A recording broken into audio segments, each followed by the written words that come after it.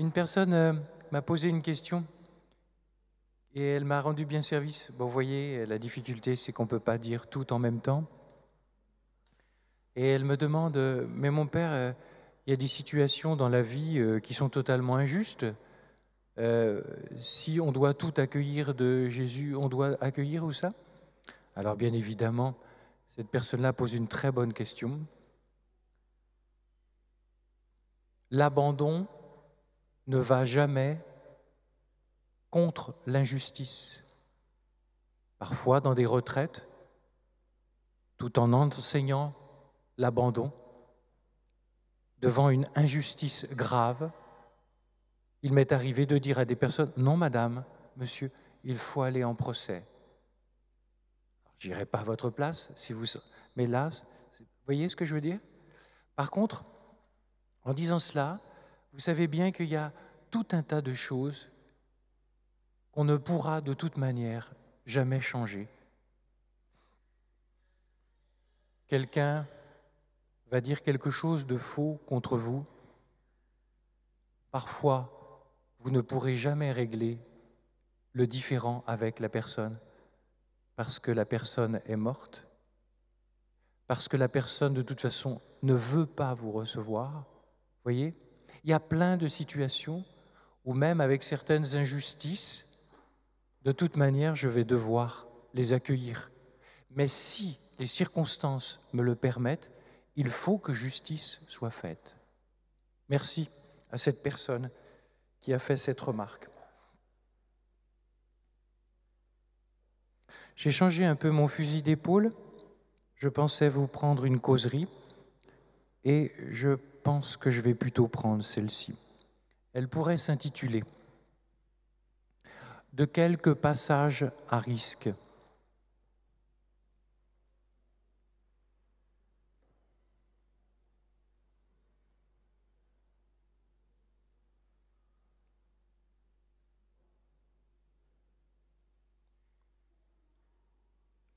Je voudrais avec vous décrypter les moments qui précèdent une grâce nouvelle que Dieu veut nous accorder. Comment négocier les chutes, les péchés? Comment transfigurer notre manière de vivre la croix? Comment évangéliser selon le cœur de Dieu? Je ferai ce que je peux faire.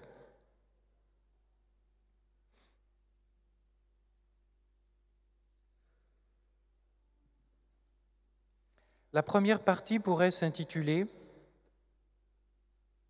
Quand Dieu s'approche de nous, mais s'approche de nous, euh, ça a à voir avec ce qui a été évoqué sur l'expérience de la miséricorde pour laquelle il faut descendre dans notre misère.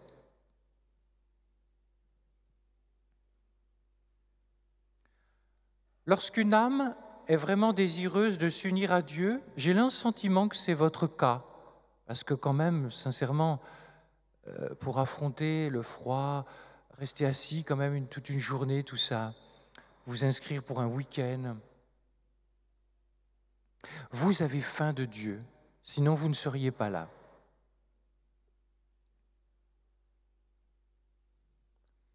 Quand Dieu sent qu'une âme a faim de lui, que fait Dieu?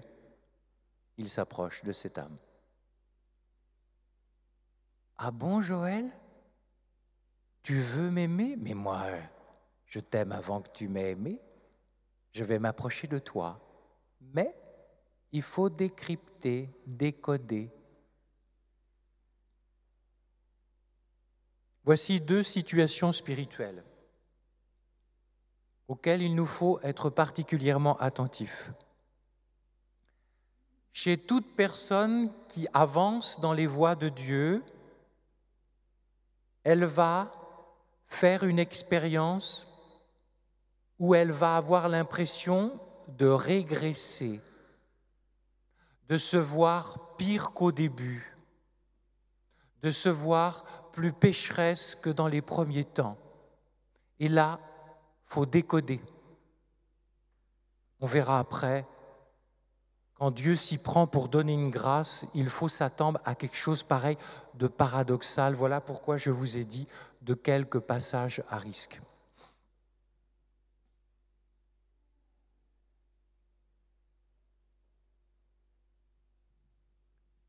Sainte Faustine, vous aimez?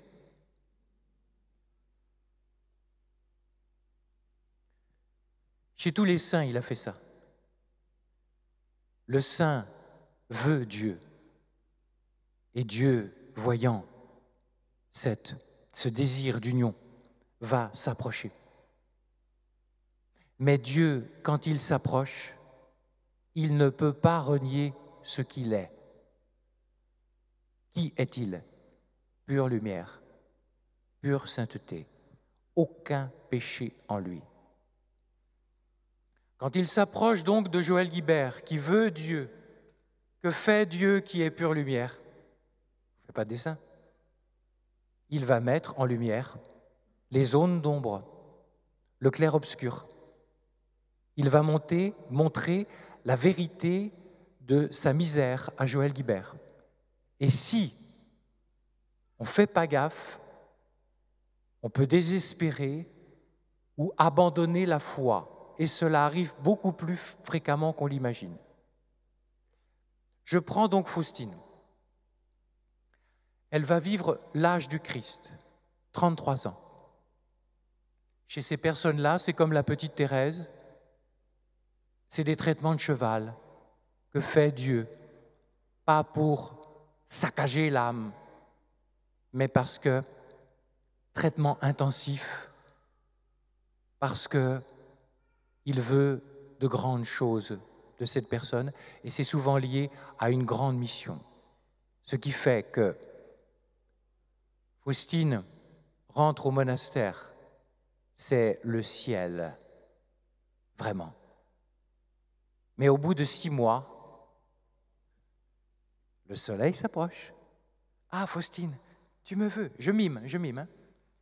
tu me veux ben, Je m'approche. C'est le vœu du mariage.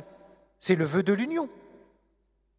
Et comme Dieu ne peut pas se renier, que va-t-il se produire dans l'âme de Faustine? Elle va se voir toute minable, toute pauvre, toute noire de péché. Écoutez-la, dans le petit journal. Vers la fin de la première année du noviciat, mon âme commença à s'assombrir. Je rentrais profondément en moi-même et je ne voyais qu'une grande misère. Je vois aussi clairement l'immense sainteté de Dieu et je n'ose pas lever les yeux vers lui. Quand le saint s'approche de ce qui n'est pas saint, moi, toi, il montre ce qui n'est pas saint. Et c'est une expérience extrêmement douloureuse. Parce que éventuellement, on a vécu une conversion, on a découvert l'amour de Jésus, et puis là, on se dit oh, Dieu est Dieu. Désolé pour le transhumanisme. Dieu n'est pas un homme agrandi, augmenté. Dieu est Dieu. Si Dieu se manifestait à chacun d'entre nous dans toute sa gloire, nous serions grillés comme les moustiques dans le sud de la France, où il y en a pas mal, vous savez, au restaurant, avec tous ces appareils bleus, puis vous entendez, vous êtes en train de manger un super carpaccio, vous entendez... Voilà. C'est agréable. Et après, vous continuez à manger votre viande. Les amis, c'est vrai. C'est pas que Dieu est méchant, c'est qu'il est infini. On ne peut pas voir Dieu en face. alors vous allez voir, on ne va pas le voir. Si, mais il va y avoir soit le purgatoire pour te purifier de tes fautes, afin que tu sois adapté à pouvoir regarder ce trop plein de lumière. Si tu veux un exemple, les éclipses, les éclipses, Qu'est-ce qui vous dit le médecin? Faites gaffe, portez des lunettes, vos yeux sont inadaptés au trop-plein de lumière de Dieu. Et le purgatoire sera une forme de greffe de nos yeux Jésus va adapter à notre regard son propre regard pour que nous puissions voir Dieu comme Dieu se voit, le lumen glorié, dit la théologie. Et sur cette terre, si vous allez avancer, vous allez avoir une expérience où vous allez avoir l'impression, alors que ça ne vient pas de votre faute, que vous ne faites pas de péché, que vous ne vous laissez pas aller, vous allez avoir une impression de régression. Et je vous donne les clés, les amis. Ne pensez pas que Dieu n'est plus là. Il est plus là. Mais comme tes yeux sont inadaptés pour voir Dieu, tu es aveuglé. Il va falloir tout un temps pour adapter. Et donc, tu vas aussi voir ta misère. Tu vas te voir plus minable que tu n'étais au moment de ta conversion.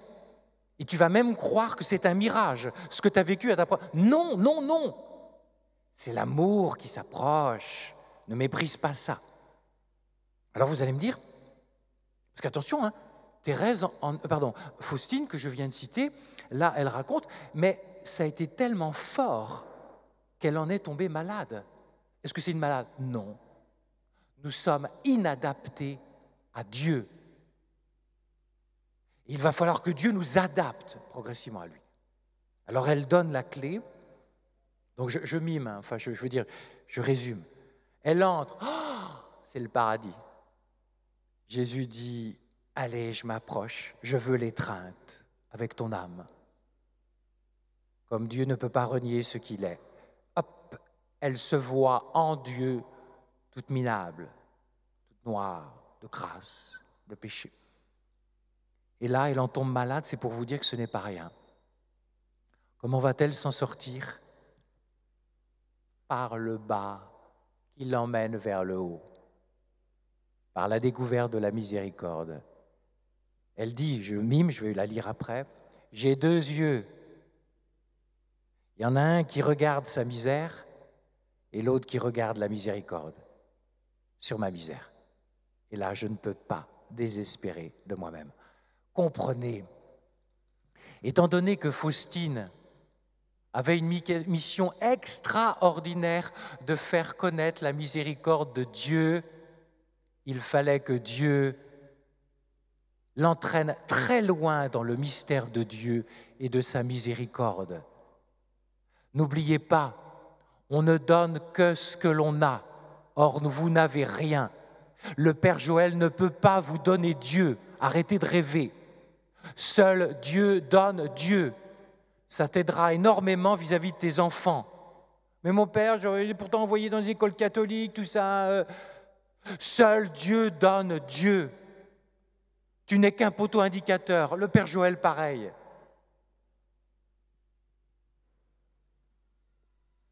Et donc Faustine va laisser rentrer la miséricorde de Dieu à flot pour devenir instrument qui révèle la miséricorde.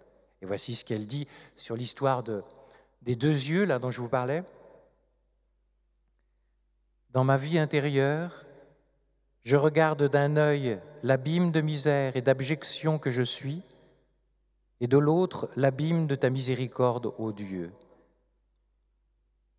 Quand je vous ai dit, c'est quoi la pratique de la confession dans ta vie chrétienne? Parce que ça dit quelque chose de ta vie chrétienne si tu te confesses jamais. C'est du pipeau. Parce que tu crois que tu aimes Jésus, tu aimes Jésus, tu l'as pas encore découvert, parce que si tu l'avais vraiment découvert, il te ferait découvrir que tu es misérable. Pas du tout qu'il est humiliant, mais parce que c'est la vérité. Tu n'es rien, et en plus tu es pécheur. Et donc, le désir de la confession traduit quelque chose de l'expérience de Dieu. Il en est ainsi, comme je vous l'ai dit, dans les couples. Les couples qui ne se demandent jamais pardon, on sait comment ça se termine. Et vous voudriez que dans la vie d'amour avec le Seigneur Jésus, ce soit différent que dans la vie du couple?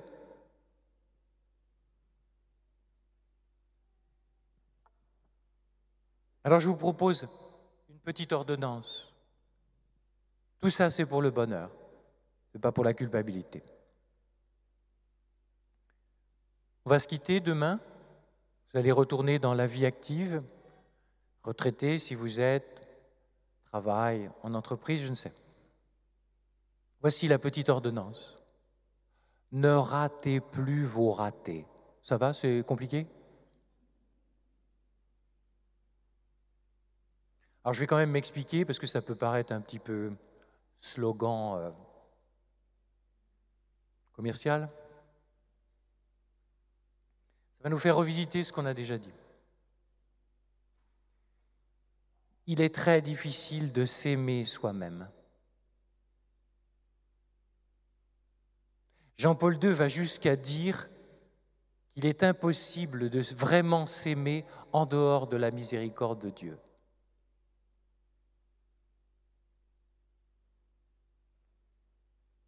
Je voudrais vous inviter, j'ai trouvé sous les yeux la, citation de Jean-Paul II.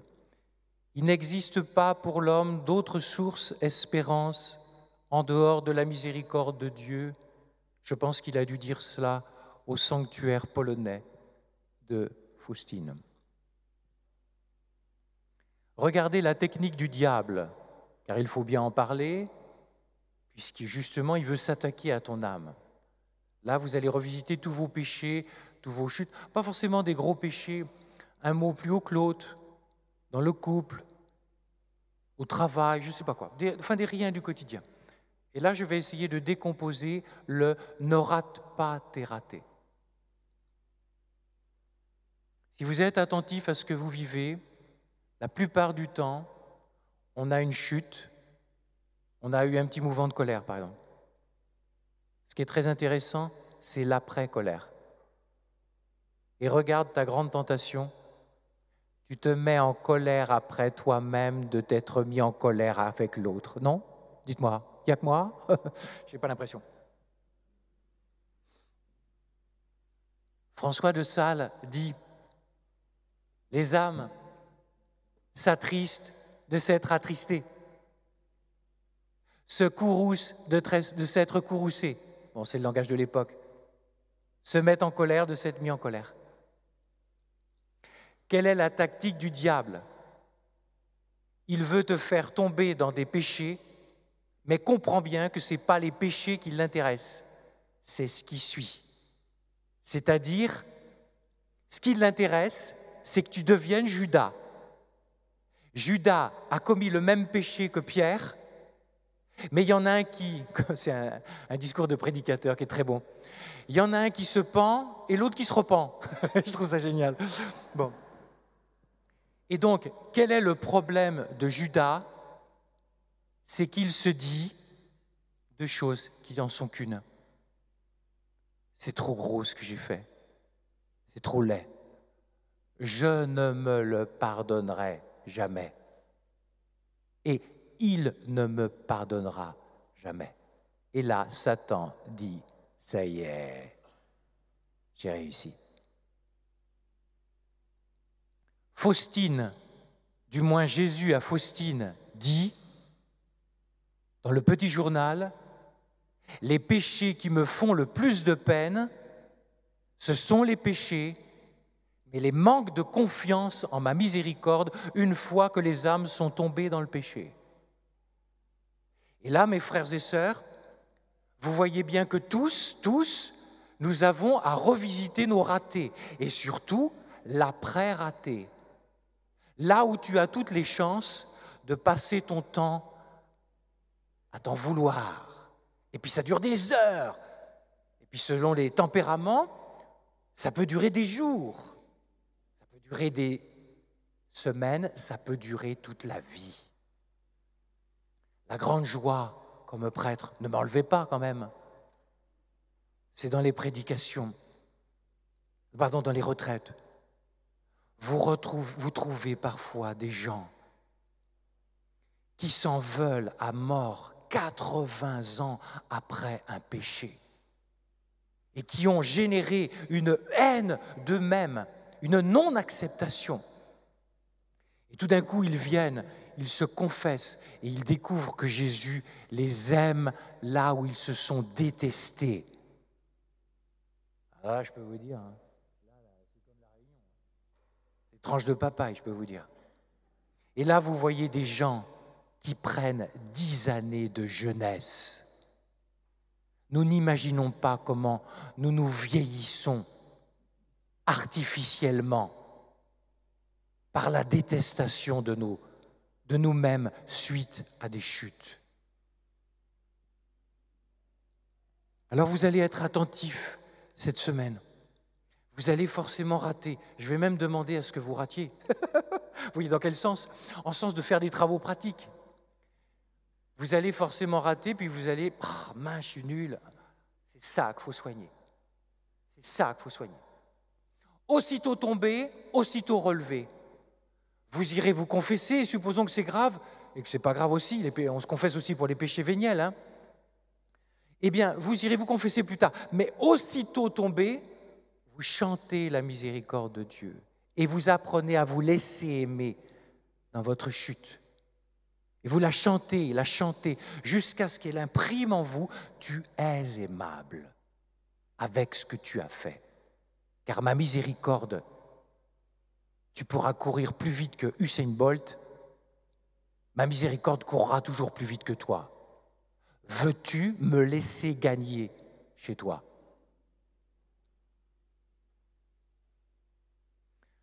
Ne privez pas Jésus de sa joie de vous faire miséricorde. Les gens y conçoivent les confessions comme ah bah faut faire ça, faut être en règle, mais vous ne comprenez donc pas que le problème de la confession, c'est que le premier à être heureux, c'est Jésus, car il peut vous donner. Et quand vous n'allez pas vous confesser, mais vous privez Jésus de la joie de vous faire miséricorde, vous comprenez que ça renouvelle un peu beaucoup la pratique du sacrement du pardon, vous comprenez? Moi, je vais me confesser. Moi, je n'ai pas d'extase en allant me confesser. Moi, j'y vais pour lui faire plaisir. Je n'ai pas de grand péché, mais j'y vais pour lui faire plaisir. Après, je vais vous dire, quand vous avez cette clé de lecture, bah, ça change. Et vous n'avez plus de semelle de plomb pour aller vous confesser. Ah, mon père, euh, euh, j'ai pas envie. Mais on s'en fout ton envie. C'est les envies de Dieu qui sont importantes. Arrête de te regarder le nombril.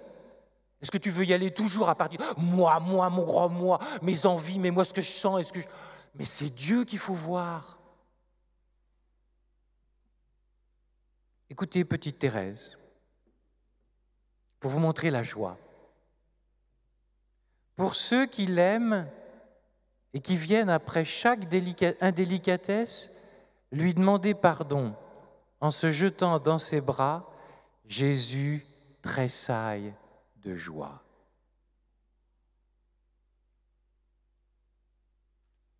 Je fais une petite digression, petit canaillou.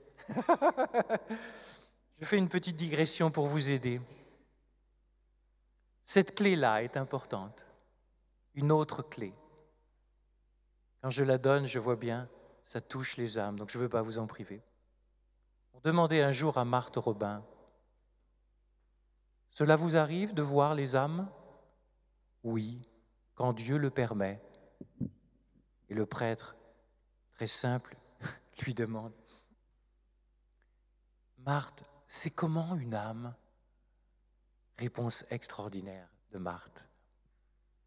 Oh, si vous voyez une âme en état de grâce, c'est-à-dire après la confession, ou qui n'a pas de péché, si vous voyez une âme en état de grâce, vous voyez Dieu.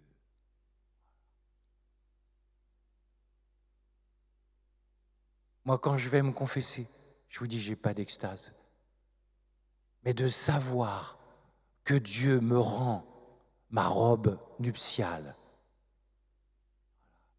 qu'il est content de me dire sans que je le sente, je t'aime là où tu risques de te détester. Je t'aime inconditionnellement. Vous voyez, la vie chrétienne, ça c'est pour la confession, mais c'est pareil pour la messe, du genre les jeunes, vous savez. Ah, j'ai pas envie d'y aller ce matin. Mais Dieu, lui, il a envie de te voir. C'est d'abord Dieu qui a envie de se donner à toi dans la messe. quand tu vois les choses à partir de Dieu, mais t'arrêtes de prendre de le pouls sans arrêt. Tu prends le pouls du bon Dieu, et lui, c'est à 100 à l'heure qui bat pour toi.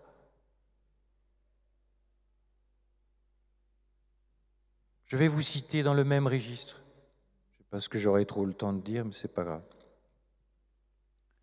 Je vais vous citer une parole que vous ne trouverez pas dans les écrits de Thérèse, parce que c'est une parole qu'elle a prononcée, qui n'est pas dans son totum, et qu'on sait justement par la petite novice Marie de la Trinité. Au procès de canonisation, elle a tellement été marquée par l'enseignement de Thérèse. Alors si ça, ça vous fait rien, je ne sais plus quoi faire pour vous. Vous êtes irrécupérable. Écoutez, c'est magnifique. Mais ça suppose un renversement de la vie chrétienne.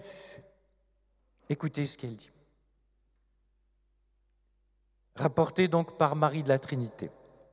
Quel saint canonisé a-t-il jamais parlé ainsi Nous autres, me disait Thérèse, nous ne sommes pas des saints qui pleurons nos péchés, nous nous réjouissons de ce que nos péchés servent à glorifier la miséricorde du bon Dieu.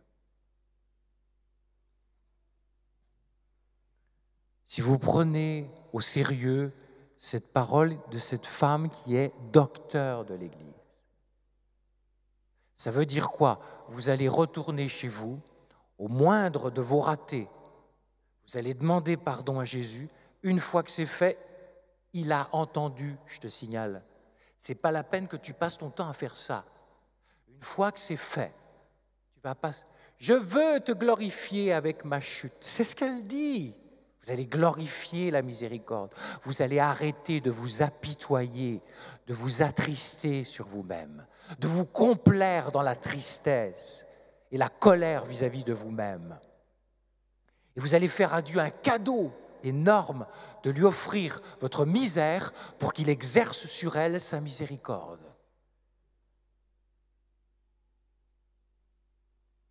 Je vois trop de gens même abîmé psychologiquement. Vous m'entendez Plus abîmé que vous,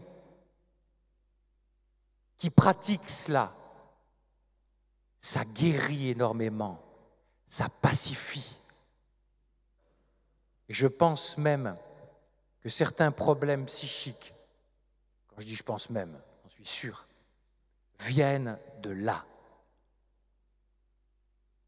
On peut tomber malade à force de détestation de soi par les ratés.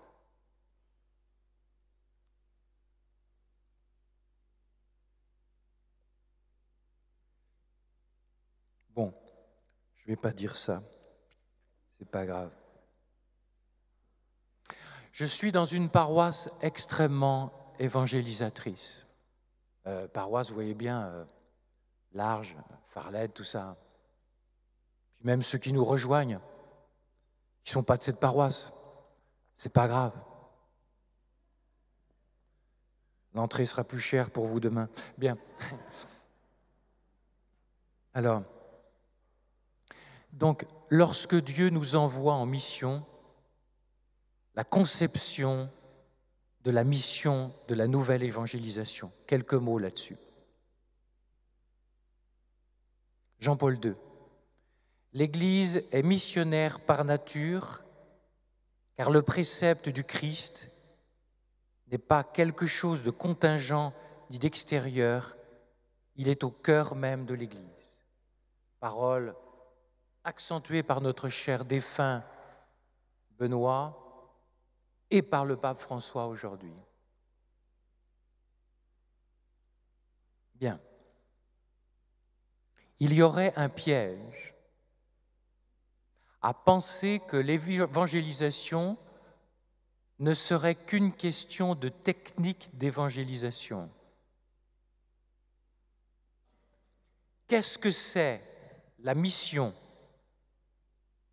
C'est le bing bang du mystère pascal, c'est-à-dire la mort et la résurrection de Jésus.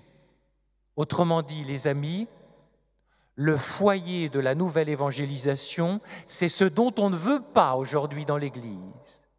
La crucifixion, l'agonie de Jésus au Jardin des Oliviers, la flagellation et la mort de Jésus. Et donc, mes amis, il nous faut revenir à ce foyer de l'évangélisation. Si nous ne voulons pas repartir de la croix, notre évangélisation ne sera que du vent. Vous pourrez avoir toutes les techniques d'évangélisation que vous et elles sont merveilleuses et vous êtes admirables. Mais si vous ne voulez pas inscrire un peu de la croix dans vos propres vies au service de l'évangélisation, il n'y aura rien. Alors, je fais une précision. Je ne vous demande de vous inventer aucune croix aucune croix. Je voudrais seulement que toutes les croix que jusqu'à maintenant vous avez refusées, de santé, relationnelle, d'échec, de rejet, de jalousie, tout ça, dont vous avez pu être l'objet, vous arrêtiez de les jeter à la poubelle et que vous en fassiez une offrande. Écoutez, je suis tombé sur des paroles de Marie des Vallées, cette grande mystique qui a éduqué Saint Jean-Eudes. Un jour, Saint Jean-Eudes vient lui dire, je crois, je ne suis pas sûr que le bon Dieu m'invite à fonder un séminaire. Il en parle à cette mystique, Marie des Vallées. Marie des Vallées retourne chez elle et prie sur ce qui lui semble être une intuition de l'esprit. Et elle revient, elle lui dit, Je viens vous dire que de la part du Seigneur, que l'établissement que vous projetez lui est agréable et que c'est Jésus lui-même qu'il vous l'avait inspiré. Mais elle ajoute que Jésus bâtirait sur trois fondements, sa grâce, la divine volonté et la croix. Ça, c'est fort, Père Ludovic. Je dis ça parce que nous parlions hier de cela. J'ai trouvé les trois trucs là-dedans. Donc, je vous dis quelque chose qui me parle, moi. Mercedes, elle, elle avait 90 ans. Quand elle venait aux retraites, à 90 ans, Jésus faisait, il lui demandait de ne pas dormir et d'intercéder pour les retraitants. Et jamais de sieste. Un truc de ouf, quoi. Bien. Et un jour, elle me dit, c'était au tout début, je prêchais. Mon père, arrêtez de croire que vous allez convertir vos retraitants avec vos petites conférences sympathiques veux dire que ça calme. Hein. Et elle ajoute ceci qui est très important.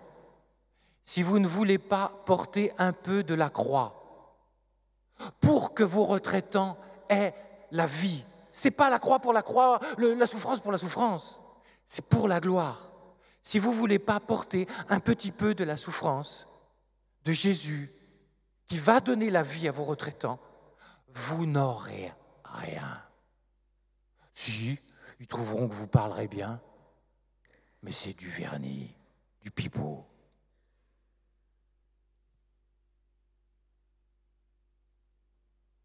Et mes sœurs,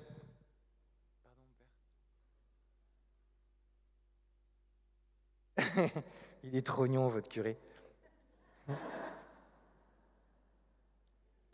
Ah, cher Père Ludovic, toujours euh, délicat. Oui, mais quand même, on va respecter, parce que normalement, ça doit s'arrêter à 17h42. C'est pas grave, vous savez, Père Ludovic. Vouloir tout dire, parfois pour Jésus, je les ai trouvés déjà bien vertueux, vos paroissiens. Et donc, par exemple, depuis, mes amis, je vais mouiller. Donc, par exemple, première nuit de retraite à la Sainte-Baume. Je suis tout heureux de retrouver, ça fait la troisième fois, je retrouve des têtes de prêtres qui me sont sympathiques. Et donc, euh, mon père, vous êtes peut-être stressé. Bah, J'aimerais bien être stressé, mais malheureusement pas. C'est une joie. Et dans la nuit, tout d'un coup, très rapidement, je sens une sorte d'oppression. Je dis à Jésus, mais Jésus, Jésus, il faut que je dorme. Demain, j'ai beaucoup de travail. Alors, il ne me parle pas, mais il parle autrement. Dis-moi oui, c'est ta petite participation pour que demain et toute la semaine, je donne des grâces. Ne t'inquiète pas pour ta santé. Moi, je m'en occupe. Je veux juste que tu marches sur l'eau. Arrête de te raidir. Dis-moi oui, tu vas moins souffrir, je vais t'utiliser. Tenez-vous, il y a des fois, la souffrance est joie. Vous allez me dire, vous n'êtes pas un peu maso, mon père? Non, pas vraiment, non. Je laisse faire Dieu, qui est à la fois le crucifié et le glorifié. Et quand il te demande de porter certaines croix, étant donné qu'il est le glorifié, il te donne la joie avec, et tu comprends des choses que Thérèse, alors que tu n'es pas très avancé dans les voies de Dieu, tu comprends des choses que disent les saints. Je trouve ma joie dans la souffrance. Vous allez me dire, ils ne sont pas un peu... Non, la clé est celle-ci. Les saints ne jouissent pas de souffrir, ils s'abandonnent à Jésus dans leur souffrance, ce qui n'est pas du tout la même chose. Et donc je, je voudrais vous visiter. Vous avez tous des croix, tous, toutes. Vous avez, moi je comprenais mal ce que voulait dire Jésus quand il disait celui qui veut être mon disciple, qu'il vienne à moi, qu'il prenne sa croix et donc qu'il me suive. Et je considérais ceci. Ah bah donc faut en baver? Non. Qu'est-ce que c'est porter sa croix selon Jésus? C'est en fait porter sa croix en laissant Jésus la porter à l'intérieur de nous.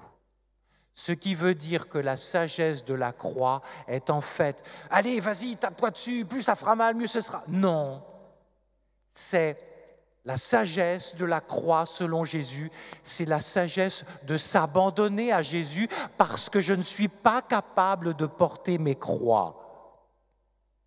Pourquoi vous êtes épuisé, écrasé sous le poids de vos croix de travail, de famille, de, relations, etc. Je n'en sais rien. Parce que vous les portez toutes seules, tout seul. Rendez-vous à Dieu. Que dit-il dans l'Évangile? Venez à moi, vous tous qui peinez, je vous procurerai le repos. Pourquoi t'as pas le repos?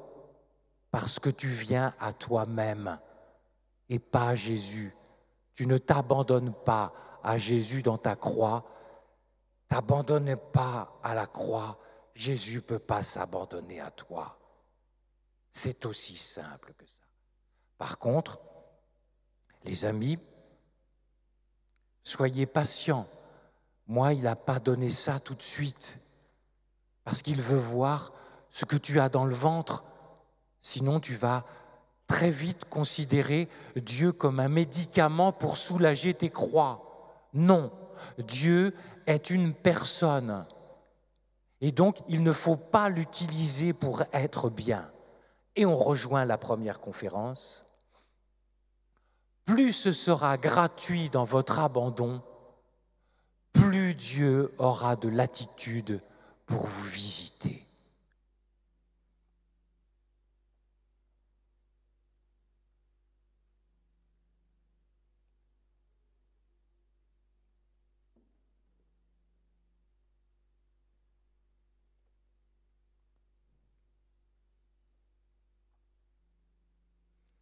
Termine pour vous mettre en appétit. Soyez patient. le Père Joël n'est pas très avancé. Et donc c'est rassurant, parce que ça veut dire que si lui est visité par ces choses, pourquoi pas moi? Mais quelle est la difficulté, les amis? Ça, je peux le dire sans gêne. Je crois pouvoir dire que j'ai renoncé à cramponner le volant de ma vie. Et je l'ai remis à Dieu. Je ne commande plus rien. Pourquoi peu d'âmes, en fait, expérimentent le Saint-Esprit? Et donc, ce que je viens de dire de la joie dans la croix, car c'est ça. Mercedes, avec son langage extrêmement simple, le disait. Je vais vous rapporter ces mots. Elle venait aux retraites, elle était là et elle intercédait, et elle me disait, Oh mon Père, je sens l'âme de vos retraitants. Ils veulent vraiment Dieu, mais il y a un problème. Ils lui commandent tout le temps. C'est simplement dit, mais c'est massif, c'est la vérité. Chacun de nous a des projets pour les proches, pour soi-même, pour la vie en Dieu. En fait, on veut faire la volonté de Dieu, mais à condition qu'elle passe par ma volonté. Il lui commande tout le temps. Je pense, et si je vous revois dans 4 ans, 5 ans, 10 ans, ce sera encore plus important. Mais peu m'importe, déjà aujourd'hui, je vous dis, le secret d'une vie heureuse, du combat spirituel, c'est de se décramponner du volant. Tu veux tout gérer, tu veux tout maîtriser, tu veux tout organiser. Comment veux-tu que Dieu conduise la voiture de ta vie si tu es sans arrêt les mains cramponnées dessus? Demandez cette grâce. Soyez patient. Soyez patient. Ça ne se fait pas du jour au lendemain. Mais quel changement